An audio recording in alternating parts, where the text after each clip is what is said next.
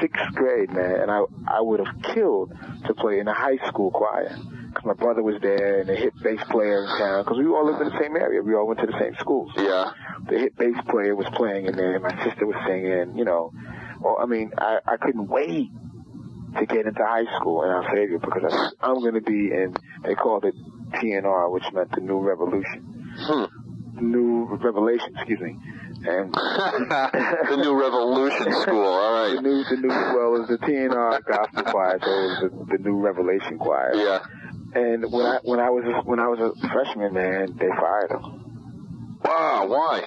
Uh, I think I think socially he was getting a little too heavy. You know, he he he wore leather pants and leather jackets and didn't button his shirts up all the way. a lot of the girls thought he was really attractive and stuff. You know what I mean? Yeah. He was a swinging he was a swinging kind of guy. Yeah. And I think people would really kill to get in his class and they would cut to go to choir early and, you know, he had that kind of effect on people, you know, and he did some things that weren't cool.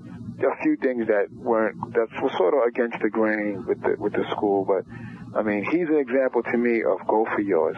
Yeah.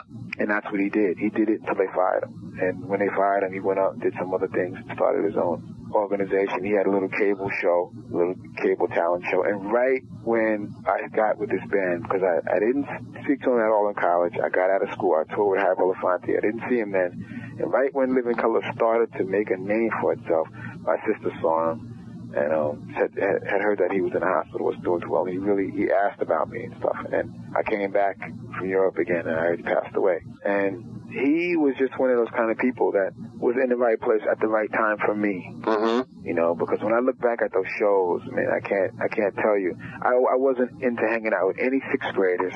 I, I wasn't couldn't get me, you know, I wasn't interested in any girls in my class. You know what I mean? I was just totally, I wanted to be down with that scene. That Yeah. was, that was it for me. That's, I said, wow, this, this was my biggest turn on. And he was the, he was the guy that said, Calhoun, you're going to have to learn how to play piano. To take piano lessons. You're going to have to learn how to take, play piano. You know, this drumming thing is cool. You got to learn some theory, pal. So how when, how old were you when you started studying piano? Uh, I studied it as a kid. Yeah. Uh, I went to Bronx House Music School, which is on Pelham Parkway in the Bronx. I also went to camp at Bronx House, Mhm. summer, but I studied music theory and piano there. It's in the Jewish community over there by Pelham Parkway, and it's it's it's a great opportunity for me to check that out because my sister took ballet, and one of my cousins studied violin and stuff. So we were all in, into the whole classical thing. Yeah. I'll tell you what turned me off about it. I had this really strict Philippine teacher who was great, Miss Acosta. I'll never forget her. Who used to just crack my crack me over the hands with with with the ruler when I when I when my technique was wrong or I used the wrong finger. And I just told my mother like I can't. I remember one time I was working very hard on this piece and I played it correctly.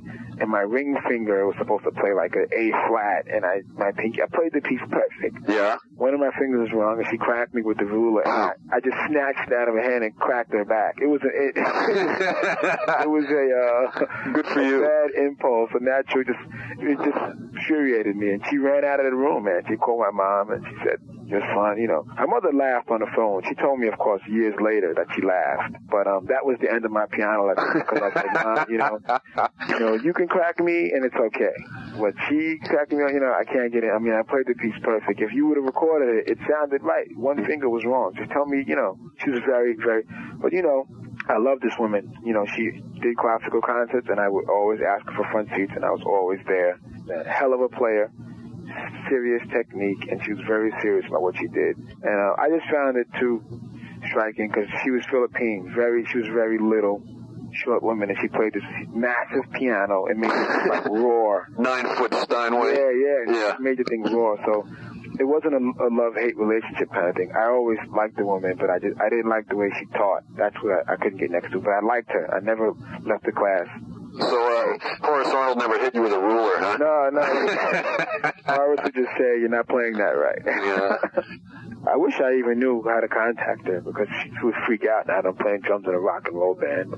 She used to tell me, you know, you could be a concert pianist. You know, you have the attitude and you have the the uh, vibe to do it. You just have to assert yourself. So, so you learned enough through that in Berklee then. I mean, you wouldn't call yourself a pianist, but you know theory. You could sit Yeah, down and, yeah. yeah. I wouldn't go on a gig and play keyboards, Okay. but I can, you know, write my own songs. And um, Ber- Berklee was even better because I studied harmony. You know why certain chords work with other chords, and you learn about Indian scales and you know Mixolydian, and, eh, you know, Yeah. you learn about all these scales and, and, and Egyptian scales and things that you know some people say that sounds weird, but if you study the chord and the music, you understand why the flats and sharps change in certain scales. You know. Okay.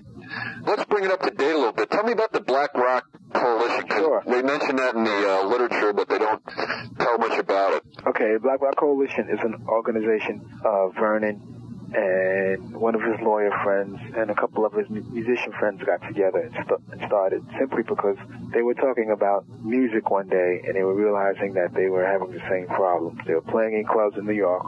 No one was showing up. No one wanted to book the band. Record companies didn't want to sign the band. So they figured it was a great idea since we're all having the same problems. We should unite, start an organization, and make things happen for ourselves. Mm. Um, it's not a, a racist thing. It's not like there aren't any white people or Hispanics or Chinese or whatever in it. But it was basically labeled Black Rock Coalition because the majority of the musicians that were doing it at the time were playing rock and roll and were black. Yeah. And it's a black originated art form, and it sucks that people have to look at you weird for playing something that's part of your culture Good point. that's the basis of it. The organization has grown. You know, it's it's, it's great. That's how I I met I met Vernon outside of that, but that was my first intake with the uh, people that I associate with now. I mean, the uh, attorney that I deal with now is out of the coalition. It's grown to, to be a pretty big organization. We put on benefit concerts. We, we did a benefit for Otis Blackwell, which was great, and um, it was great to talk to him about the songs he wrote for Elvis. And ne- you never met Elvis, isn't that bizarre? Never met Elvis. Yeah. And how Elvis's organization treated him basically like shit. Did they? Yeah. And now uh, he told us a story. Like he had to go up in, in the record company one day with a gun to get a royalty check, and he got it. He did? Yep. he Well, I guess so. You know, he said, he said, you know, he said, I thought they were going to call the cops and shoot me or kill me or whatever, but he said, I felt so degraded about this, this music and the stuff that I was doing that I was going to go up there with the gun. And if I wasn't, if a check wasn't written to me, he was like, I was ready to deal with the consequences. And he said he got his money. yeah. You know, and, and that's a shame that he had to go through that to get something that was, you know, that was supposedly owed to him. We've done big band concerts with people like Greg Osby and Steve Coleman. A lot, a lot of musicians in New York that are associated with the BRC. They may not attend meetings and stuff, but they're associated with it and they support it. Ronnie Drayton and a few other people. So it was great to, for me to get out of school and to be working with Harry and still have time off and come in and do shows with like John Paul Bourelly on guitar because I used to see Elvin as a teenager, as a young teenager, and John Paul played played with them for Yeah. five or six years. Yeah. And there I was on the same stage in rehearsal with John Paul. And, you know, for him it was like, oh, come on, man, get out of here. But that's what you got to understand. You know, I saw you guys religiously, you know, as a kid. So for me, it was great to get in an organization like that. And that was another springboard for me to be around positive people who wanted to do their thing, their way, who didn't want to sell out, who didn't want to necessarily put Jheri curls in their hair or sing R&B songs or write love songs or write about baby I need you tonight and you look sexy in that red dress and all that kind of stuff. Yeah. I'm not slagging at music, but to me, Sure you are. you, should, you, shouldn't have, you shouldn't have to do that to make a living. And it's the that's the other side of it where label people are so caught up in music and genres that they assume black people are one dimensional hmm and we do rap and we do pop and that's it. You know, and you know, jazz is something that we do, but it's almost a forgotten language now. Yeah. So um, to play rock, it's like, huh? You know, why do you want to play that white music? You know what I mean? And it's it's it's it's, it's sad. It's sad that that people think like that. Mhm. It's you know, part of it is the media and what's happening with rock and roll. I mean, if you were to walk up to a 13 year old kid and ask him, what does a rock singer look like to you? He'll, he'll say, oh, he's blind, he wears torn jeans, Yeah. and he, and he wings his microphone around and he goes across stage and girls scream. Yeah. You know, and that's the image, you know. Mhm. And I feel great that kids are plugged into this band. It's the greatest feeling. It's a great feeling for my little cousin to love this band. hmm To, to, to, you know, I mean, he wants to be a doctor and all that, but the fact that he can look up to Vernon and say, wow, he's a guitar god, or, you know what I mean? Yeah. Yeah. Uh, like this guy, this guy really is, you know, it's, is great because when I grew up, Hendrix was my guitar god. You know what I mean? He got that? I was like, yeah, Hendrix is like, wow. and it's great. And I don't, I'm not taking anything away from Steve Vai or, or Van Halen because those guys are amazing on their instrument. But it's not. That's not all. I'm not just saying that to make a black or white issue out of it, but um, more kids are plugged into that because for some people they feel like Steve Vai and Eddie Van Halen are more accessible to people, or they feel like they're easier to market than a Vernon Reid. And it's nice to know. it's nice to know that um, our record did well, and kids are into it for what it is. Yeah. Because we have chicks in our video with uh, mini skirts on, and you know, sitting in the back seat of the car, licking our necks or Yeah. whatever. You know what I mean? Yeah. They're into it for what it is, and they're into the lyrics, and they're into the music, and they're into the power of it, and they're into us doing it Yeah. and that says a lot, man. That that, that that's a sign of something missing. You know, Tracy Chapman is a sign of something missing. Yeah, she's Bad great. Brains, I love Tracy Chapman. Tracy, Yeah. Bad Brains, Fishbone, all of all of that is is is an example.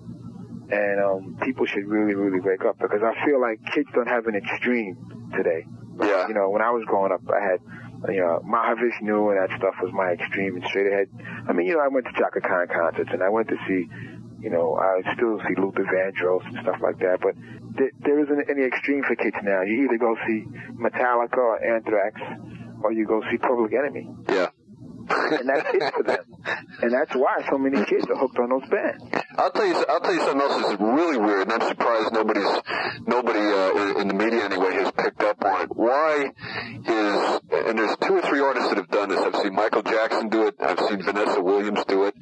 Uh, Gloria Estefan to a lesser extent. But why is Michael Jackson on the cover of Bad as white as I am? Yeah. And why is Vanessa Williams? I mean, if you see Vanessa Williams when she was Miss America and the way Vanessa Williams looks on the cover of her records, why are they doing that? Yeah. That is, that is really out. I don't, I don't, I can't get into like Michael's personal life. Michael is a hmm. hell of an artist, Yeah, and you know he's definitely a motherfucker, yeah, hands down. Really, I don't care because uh, when I was a kid, I met this bass player. Um, he played with Monk. His name is Abdul Malik. sure. Yeah, I'm familiar with him. Yeah, Yeah, right. And I, and he was teaching at NYU. My folks wanted me to go to NYU, and I and I went there to audition, and I made it. And he told my parents, "You should really let your son go to Berklee because he's just going to become a better musician at that school with his with his vibe." yeah, And he sat me down in a room after my audition and said, "I want to tell you some things." And he said, "You know, chicks are going to try this. Your friends are going to try to bring you down." Everything he told me in that room has already happened, and I'm sure it'll happen ten times over. One of the things he told me was, um, you know, about the whole sellout thing hmm you know, and the whole thing dealing with the color issue and this kind of stuff. Mhm. And I don't know why somebody would want to get a nose job, lighten their skin, straighten their hair. You know, to me, yeah, to me, in these here times, especially as black Americans, Yeah. you know, especially, um, I don't know why something like that would happen. I know I wouldn't allow it. I really would. That's my personal thing. Now, I'm not taking anything away from those artists, but you can't tell me we're going to sell more records if we get Jheri curls and lighten our skin. yeah, You know, if Yeah. white people are not going to dig it because we're black, then they're not going to dig it. hmm I'm not into that whole trick of the trade kind of thing. hmm You know, and he was a cat that hit me to like all that stuff, and it's it's it's sad. It's really, really, really sad to, to um, think about. To, you know, I even saw Eddie Murphy's first album cover, and that sort of surprised me a little bit. The first record he did. Was he like that too? No, he's not like that, but it just, it just, it's, it sort of surprised me. I don't know if it was the lighting on it or what. It just caught me off guard a little bit. I was like, wait a minute, you know, and I think Denise Williams. I think it was Denise Williams. did the same thing. Those are the those are the four people that you know, well, the, it's, it's, see, it's, it's, it's kind of a weird thing. Denise is fair skin. Vanessa is fair skin. You know, a little, a little pot or a pie, whatever it is they're going to put on themselves could, could really change that Yeah, and make you. Michael, to me, I, I- mean, you know, yeah, I don't know what to say about that because I was a Jackson 5 fan when I was a kid. And think about, I mean, all of those guys were handsome guys. You know, they were all handsome, talented guys.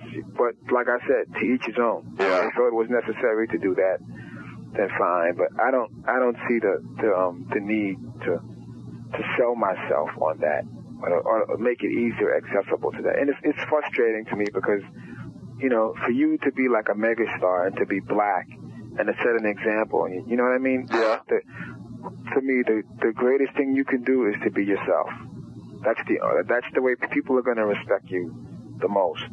I think on the next album, if we wore leather jackets and leather, you know, spandex pants and had whips in our hands. Why don't you do it? You know, for the album um, Slick Love, people would say, "What the?" You know, they, the first the first flag would be they made some money and they're tripping. Now that's the first flag. Yeah. First thing that would happen. Oh, Living Colour's last record went platinum.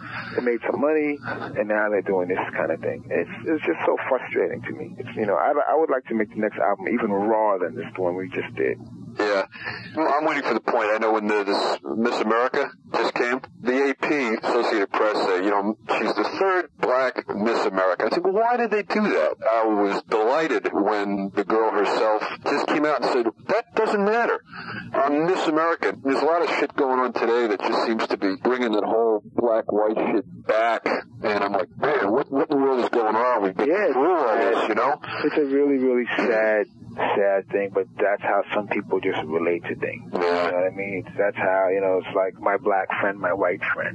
Yeah. You know what I mean? And that's you know, that's one of the things. I just wrote a tune recently that that that we're doing. As a matter of fact, in the show now that um. I'm pretty sure. I don't want to say it, but I'm, I'm assuming it will be on the next album. Okay. Everyone's into the song, the producers into the song and stuff. And the song is called Pride, and it deals with, you know, my experiences with being on the road and people asking us why we do what we do, Yeah. you know, and people wanting to touch Corey's hair, you know, and people wanting to, Vernon, show me this lick, all of this kind of stuff. But then what happens when the music stops and we're not on stage, you know? I still can't hail a cab. Really? You still don't want me to live in your neighborhood. You know what I mean? I mean, these, to me, this is the reality of it.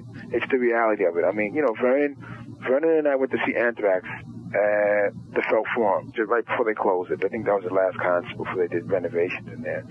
We, we, we left, went downtown, get some sushi. After we had dinner, we split. He was going to Brooklyn. I was going back uptown. I told him, I'll check you later.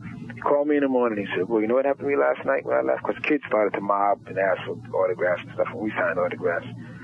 And Vernon called me in the morning and said, man, you know what happened to me last night? I said, what? He said, after we got out of the restaurant, I walked down the street, and some more kids were following me, asking for my autograph. I'm hailing a cab.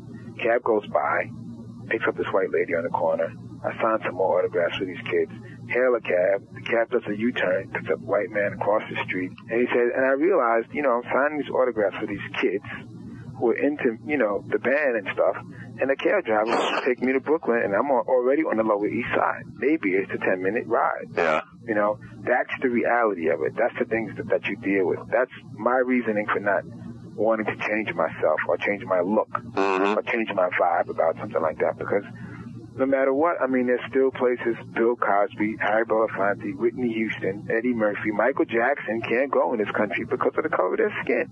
Yeah. No matter how much money they make, no matter how much, how heavy their impact is on Pepsi or Coke or whatever it is they're selling, Adidas or Nike, it doesn't change. Doesn't change. To me, it doesn't. The reality of it, when people start to accept people like people, mm. that's when it's going to change. Not as the great black consumer, the great black banker, the great black business, or the big black enterprise, that or the big white enterprise. You know, that's not. We're still where where we were, to me, hundreds of years ago. To me, you think Manhattan, I mean, especially now, all the crap that's been going down at Bensonhurst and all that other mess, and that the vibe in general is uh, worse in Manhattan than it might be, say, in Dubuque, Iowa, or a place like that? Um, I'm beginning to believe that the North is getting worse than the South and the Midwest because um, I've dealt with racism on, on all sides of the board. Yeah. I have family in the South, and it's blatant. If I go into a store and a white man vibes me, he's going to let me know. In the South. Yeah. Yep.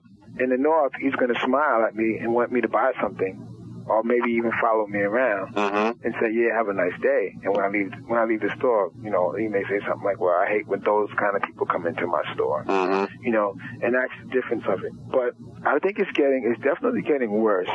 But I also think people are starting to realize how far apart they are Mm-hmm. from their reality. Part of that is the television set being in people's homes and them not getting out. You're getting living in these small towns, and the only way, like we talked to Mick Jagger, right? Yeah. About the whole Brown Sugar song and some of his other stuff. Oh yeah. Yeah, well, Great. yeah, we did. Great. And um, Jagger, Jagger um, talked about as a kid how his father made him watch Amos and Andy because that was the only, you know, it was a funny show. Yeah. It was a good show, but one of the reasons why the show got snatched was it was the only representation of blacks on the air at that time, which didn't mean maybe you should have pulled the show off, but maybe there should have been some more shows so you can see, you know what I mean? Yeah. Because like, if I went to see a, a comedy and I saw Dan Aykroyd and John Belushi, I'm not going to say these are the funniest white men around. Right. You know, maybe I'll check out Carol Burnett and see Harvey Korman, or maybe you know what I mean. Mhm. It, and that's what didn't happen for us. So that's why that show got pulled, and people were t- taken out of work and so on and so forth. But Jagger was telling us how that his father related to, to that show as it being real. I mean, he related to it. This is how black people are. Yeah. And Jagger grew up and went out and toured and said, this is not how, black people aren't like that. You know, but his father dealt with it on that level. And that's an example of it. You know, that's, that's an example of it. And I think racism definitely is something that is passed along. Kids do not grow up and they're little kids playing with each other saying, don't play with this kid because he's dirty, or don't play with this kid because, you know, he walks this way or this. I think that's something the parents do. Yeah. I think you're right. Kids don't, kids don't think like that. Yeah. yeah. Don't think like that. I went to Jewish camps all my life. I never, ever, ever associated with a kid as a white kid, or a. Mm-hmm. Jewish kid, or why is he wearing a yarmulke, or why, you know what I mean? Yep. I never did that, man. It was always Ralph, Frank, Yeah. Harry, Tom, whatever. It was never my Puerto Rican friend, my wife, and my black friend. And I'm glad that my, my, my mother brought me up in that kind of environment where I was in private schools and I, you know, uh, and my neighborhood is mixed and stuff. So it was never, and, and she, you know, she would have smacked the life out of me if I did relate to somebody like that. Yeah.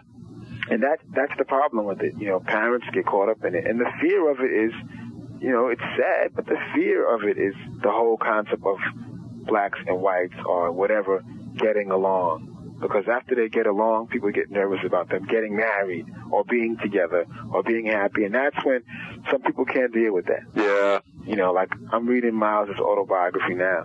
And Miles is talking about how in the 50s when the, the clubs, they had the clubs in Harlem and the clubs downtown. And when the clubs, when they, all the cats played at the clubs in Harlem, it, it was cool. But when, you know, on 52nd Street, they had like three or four clubs lined up. And when cats used to come down there and play, they closed a lot of the clubs down and they said it was because of the liquor licensing. But Miles said it was really because all these jazz guys from the Midwest and the East and West Coast were hanging around with the sharp suits on, playing the new music, bebop, and they were hanging out with these white women with money. Yeah.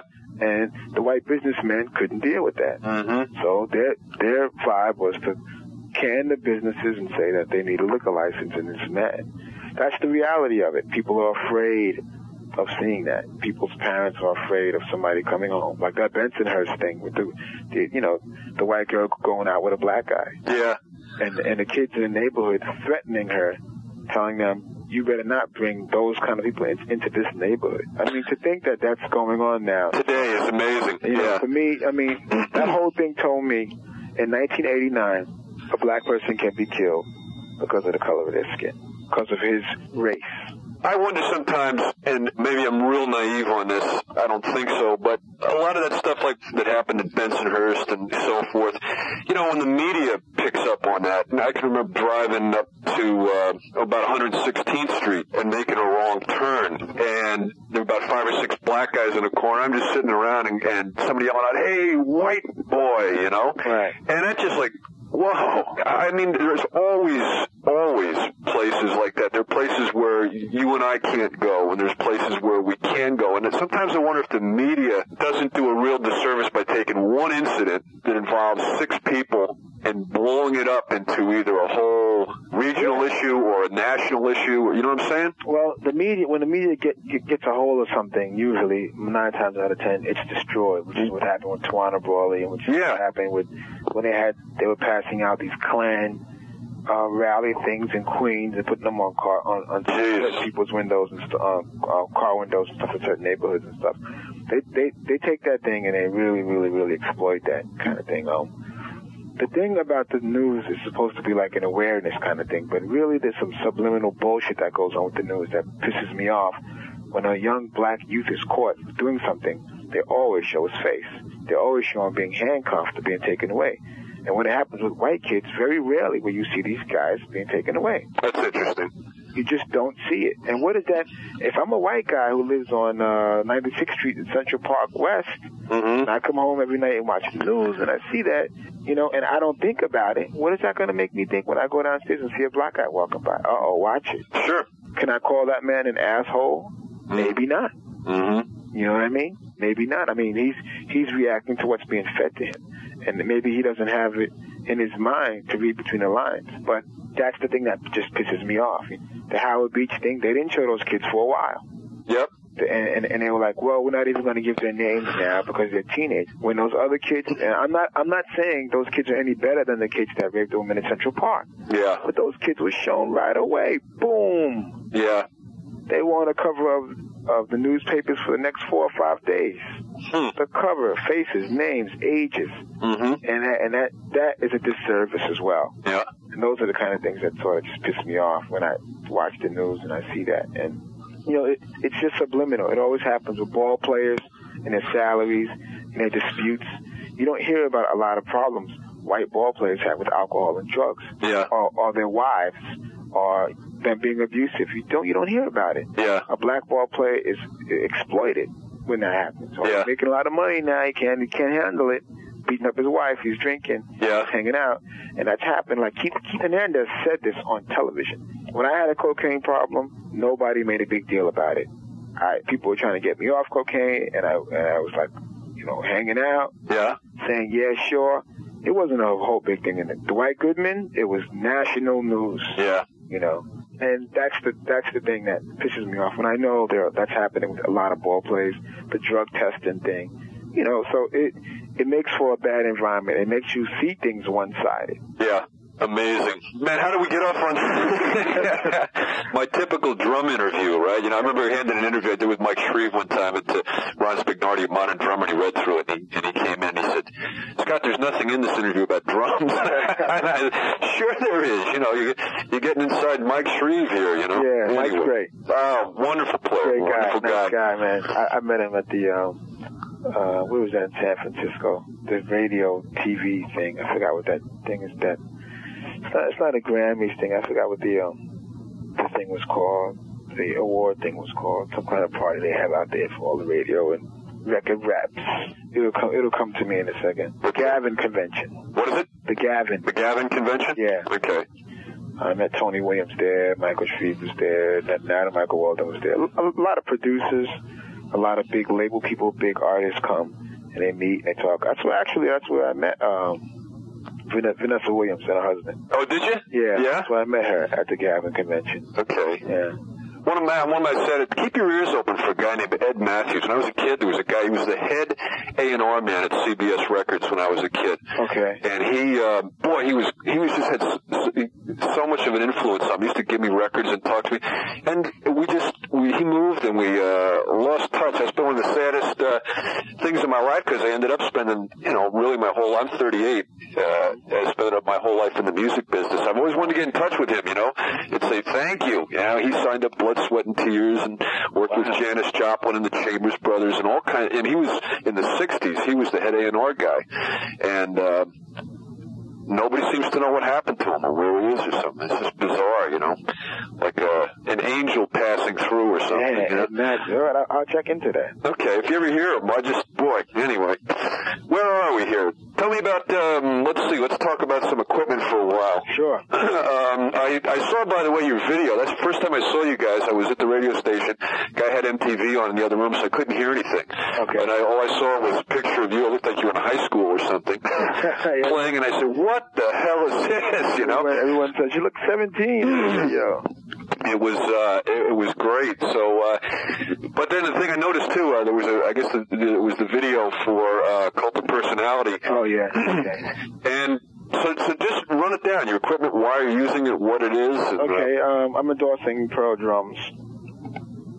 And um, are those pearls in the video? there are pearls in the video. Um, Huh. At the time, honestly, I wasn't signed to contract, but Omar was ringing my phone. I was going through problems with the drum company. I'd rather not mention. Okay. That um, I used to play that I used on the record that really weren't interested in me at all. But basically, um, Gretsch. I never, I wasn't Gretsch, but I heard some wild stories about Gretsch. I used to- Charlie told me some wild stories about I used to sell drums for Gretsch, so go. Okay. And um, I met this guy named Eric Hall in L.A. And Eric was the original cat that um talked to me about Pearl Drums. I, I I met him and I, he said, "Hey, look, I heard you guys are in town. Can I come down?" I put him on a guest list. Came backstage, and he said, "You know, you really should be playing Pearl Drums." And I said, "Well, I never played Pearl Kit before." And I said, "I know I've got I've got a few friends that are playing it. Tommy Campbell's playing them. Kenwood Dennard's playing them. You know, Yeah. Omar Hakim's playing them." But um, I never, you know, I, I've sat in with those guys, but I've never played a Pearl set. And he said, "Well, I'm going to give you some stuff. Take it home and check it out." I said, "Okay." Got to New York. He told me to call up the company on the East Coast in Jersey. You know, I spoke to Ray Tregalis, and Ray was the rep, and Ray came down to see us at the Ritz. We opened up for Nona Hendryx. Ray lost his mind. He was like, "This, I never seen anything like this." You know. So he says, "Look, you know, are you interested in, in in the drums?" And I said, "Well, look, this is my sound. These are the drums that I really love. This company doesn't want to do diddly, but I, this is my sound. You can get me this or better." That's that's sort of the basis of how that started. Um, I went out to Jersey and played around five or six different kits in the factory. Mm-hmm. Uh, one of the maple kits really sounded great. I took it. I didn't take it back, but I said I want, you know, I'd like to try this kit. They were very nice to me. Um, they said we would like for you to try out a kit. I was still in the middle of touring in the, in the states with Living Colour, doing the MTV college tour and stuff. And I said, you know, we had a video coming up called The Personality, and I didn't want to use the drums that I was using because of the stuff that I went through. So he says, look, how about if you use a pro kit? And I said, well, what if I don't like the drums and I don't, I go on to, to a different company? Your drums are in the video. I don't want, I don't know if I want to have that kind of legal commitment. So he says, we're going to get you what you need, promise, da da da da da. And they were very cool. They said, take this kit out on the road, try it out. And there, were, there wasn't no really no force to sign. I felt like they believed in me as an individual as, as well as the band. Yep. And I told them, fine. I took the kit. I didn't know what I was getting. Those drums just showed up. You didn't know you didn't you didn't, you didn't order your own sizes or anything. No, I, well, I told them. They said, "What do you need for the video?" And I said, "You know, just give me a five-piece kit, 22-inch, you know, kick, Yep. 13, 14, 16, you know, because it's just a video, Mm-hmm. and we're going to be playing live, but I'll tune them up, and you know, I bring my own cymbals down, no problem." I was really interested in their rack system, which is what I'm using now. I got a Sequoia Red set. If you'll see like the landlord video, Mm-hmm. um, I have a Sequoia Red set, and um, that's what I took out with, with me on the road. Honestly, the drums sound amazing, but they weren't heavy enough to me. I tried different heads and stuff, and I wanted something that was gonna, you know, sound very godlike. And this, Yeah. this this Z kit came out, and um, I've been using it since this tour started, and I'm totally pleased with it. So now I'm using the custom Z series uh, Pearl kit. Um, you know, I have 10, 12, 13, 16, 18, 22 uh, inch kick, which is 18 inches long. Um, using that 8 inch custom Z snare drum, which sounds amazing. And I tell you, I never thought I'd put my brass snare down. I lived in, you know, I ruled with that snare drum. Yeah. My, that was my snare. Couldn't take it away from me in a stick up, you know. Um, this snare sounds amazing, and it's that brass drum is now my backup drum. That's how good this drum sounds. What's different about Z series? They call it. Yeah, they call it a custom Z series, Bird's Eye Maple. Okay. Um, it's a beautiful, it's a gorgeous looking set. That has anything to do with it, but I have to say, I mean, it looks like furniture. I'd like to take a time and just put it in my living room, put a wine glass on it. when you retire, you can always make lamps out of them. Yeah, you know? right. right. Yeah. You know, I'll, I'll put some wine bottles on top of the kickstand. you know. But um, it's a gorgeous looking set. It's really, really beautiful. But it's ten ply. It's very thick and it's it's very heavy sounding. And what turned me on to the kit was I went to a Pearl clinic with Dennis Chambers, Tommy Campbell, Greg Bissonette, and they they all came out traded fours. You know what I mean? And, and played funk beats and. Dennis by far was the most phenomenal player, but Greg's sound just crushed everyone's sound. To me, I mean, personally, I just felt like his kick and snare was just stomped everyone's sound. And I said, that's what I need. I need that kind of weight. So um, I spoke to Ken Austin, actually, who's in town now. We're going to have lunch after this interview.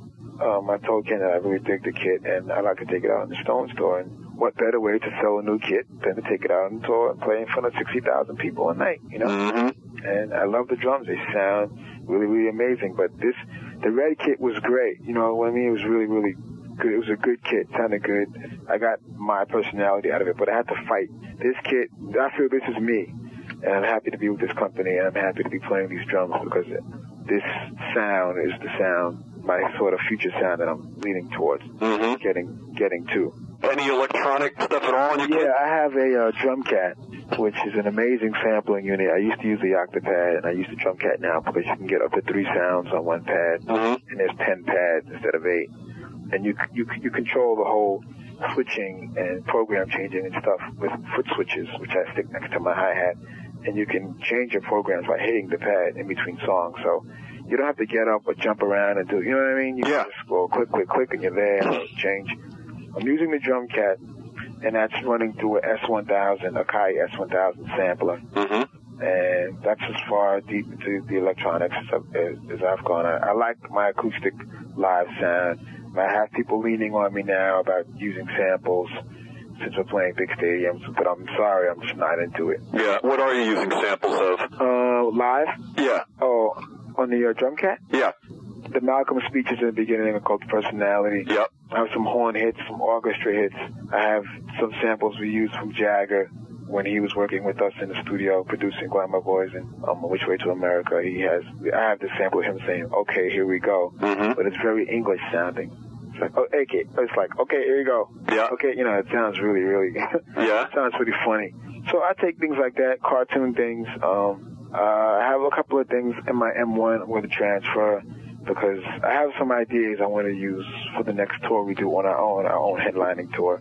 And I want to incorporate some of my keyboard playing and some of my sounds and stuff into my sort of open drum solos and make the open drum solo a big sort of orchestral African song. Yeah. Okay. So using digital samples. using digital samples, using triggers, using sequences, Okay. and using my live set. I'm still putting it all together, but um, I think if I can get it to where I'm at least thinking about it now, it could be pretty amazing. So that's my dream right now to focus on that. When this tour's over and we'll start, we, we've already started writing. We already have a lot of material for the next album, but I really, really want to spend a lot of time practicing incorporating that. Mm-hmm. That's basically all that I'm using for now. I don't have any drum sounds coming out of that Okay. out of that unit. And I do have a Roland R8. And if I needed to take anything out, I would possibly pull some things out of there that I want to use. I want to maybe get like a reverse kick drum and stuff to just use to Mhm. add to my original sounds. But to me, and this is just my own personal opinion, you know, that if you have a great engineer, you have good drums and a good drum sound, good microphones, you can get a good drum sound Mm-hmm. may not be what you got on the album, may not be what you consider to be a perfect drum sound. To each his own.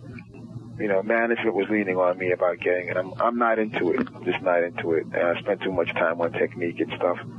They just were talking about it with, with me, and I I felt like that was a jive approach. Really, what happened was on on our tour before this, we were touring the states, and we played in Florida or somewhere, somewhere.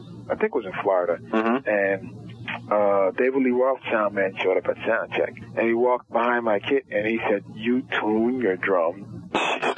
And I said, "Yes, I tune my drums." He goes, "That sound that I just heard out in the house is your kit." And I said, "Yeah, it takes a little while, sometimes, but basically, this is it." And he shook his head, and I was like, "What's the matter with you?" And he said, "We we trigger everything, you know, we trigger toms and stuff, so it's consistent every night, so we don't have to spend time on this." And I said, "I hear that, you know." Yeah. Yeah. that's how you do your tour. That's that's great. Management was like, I after that happened, the management were like, well, you know, well, you should think about that. And I'm like, no, I'm not. I'm not into it. You know, Yeah, it's too Jesus. They want everybody, everybody to sound the same, you know. Yeah. Man, not into it. Get a get a kick-ass sound, man, and work. Pay to work. Everybody work. It doesn't really take that much longer to me. yeah, It really doesn't. It's. Uh, I think that's a very Java Java approach to me. I'm not saying the David Lee Roth approach is a jive approach to getting drum sounds. Don't I don't want you to like misquote me on that. Yeah. But for me, in Living Colour, it's a jive approach. It's only four of us on stage. There's no need for that. Mm-hmm. I want the drums to sound the way they sound when I tune them. That's what I want people to hear.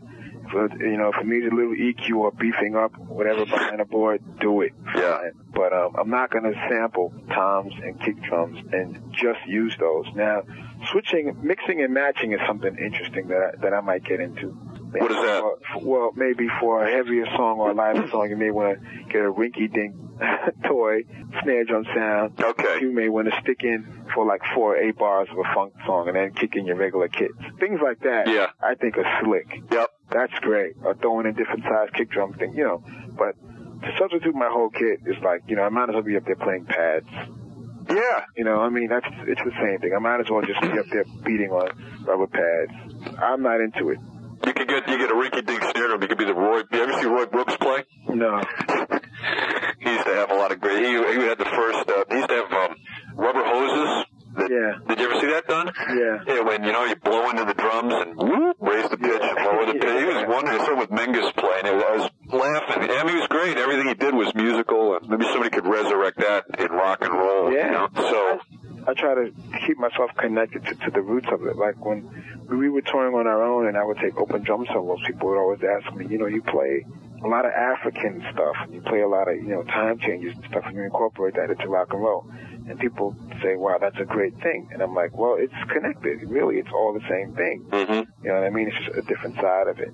That used to be the part of the show that I really used to love, of course, because it gave me a chance to totally be me. hmm You know what I mean? Totally just get away from black rock. And I mean, we're all not into that.